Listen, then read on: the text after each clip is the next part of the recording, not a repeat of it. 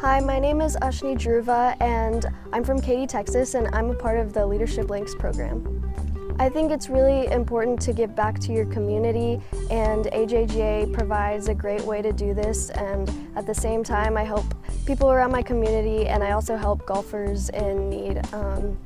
of financial aid and so they can play golf. Um, I'm part of a foundation called NLLB and it's, um,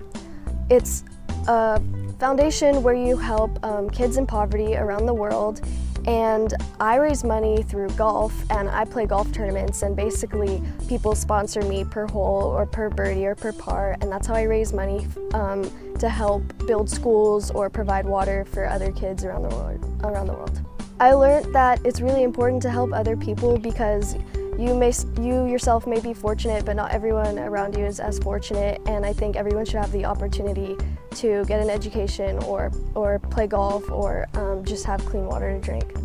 This is really um, molded by Beth Doctor and it's really, it's really important to help other people around, around the world and around your community and um, she does a great job about getting juniors involved and so that